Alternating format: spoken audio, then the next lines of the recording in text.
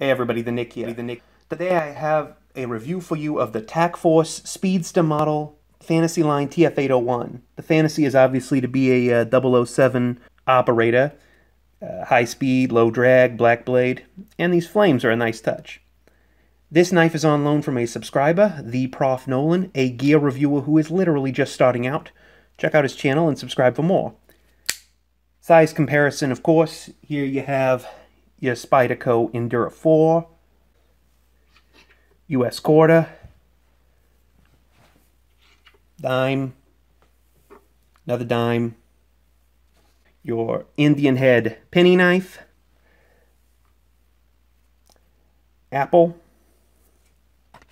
a jack, and applejack. So now let's get into the good, the bad, and the ugly on the sill knife. Uh, first thing about the good is the price. I got this baby along with a pink twin for the fiance and this uh, dandy little sharpener here for about 25 bucks. So we're looking in the same price competition with the Z Hunter, but the finish on this one is a little bit better. It is also made, here we go, it is also made in the China and designed by USA, like uh, my first Terrible Knife of the Month Club knife, also by Tac Force, I believe and uh, it's got some serrations that are good for cutting packaging twine. And unlike your Z Hunter, they are all roughly pointing in the same direction and nearly uniform in spacing. Uh, the liner lock here, see if you can see that, is about 50%, eh, which is not bad for the price point, certainly. The blade is just under 3 inches, so it should be legal in most places, except for, say, Chicago. Sorry, guys.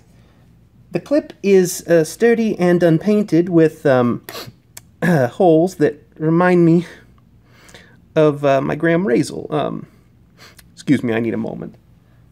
Come here, baby. No, not you. I'm talking to my Razel.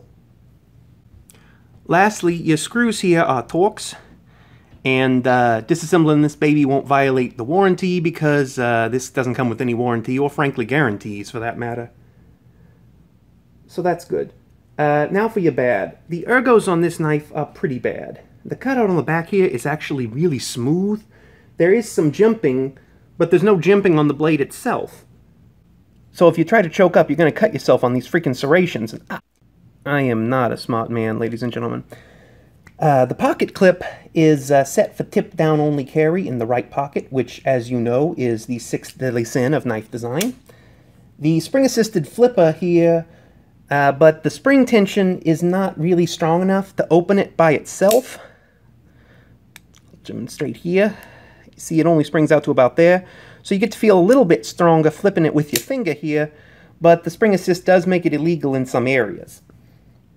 The steel frame weighs in at, let's see here, there, there you go at the 4.4 ounces. So you're talking about quite a bit heavier, a full, a full ounce heavier than your Endura 4. You've got a seatbelt cutter here, but uh, good luck maintaining it or sharpening it. And really, are you going to trust your knife, your life to this knife? I mean, come on. The uh, flipper tab here is not too large, but you do always have this glass breaker down here, which acts as a pocket pecker that points straight down in your pocket, since this is uh, tip down carry.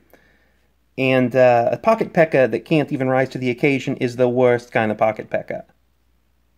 I didn't test this, the glass breaker on this knife because let's be honest, any pane of glass is going to cost more than this whole freaking knife. Lastly, the ugly.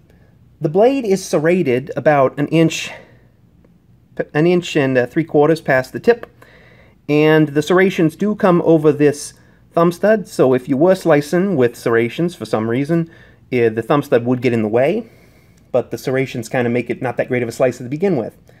The blade is uh, proudly labeled 440 steel. Right there. And it's a black blade, both of which are junk, as you know.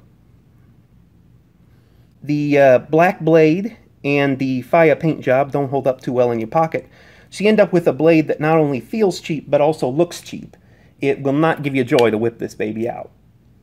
Final verdict is uh, don't buy this knife. Uh, don't even gift it, unless you never want to see the person again. So there you go.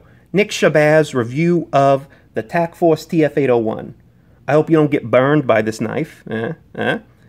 And uh, anyway, hi, Mom, and uh, have yourselves a wonderful rest of your day. Bye bye now.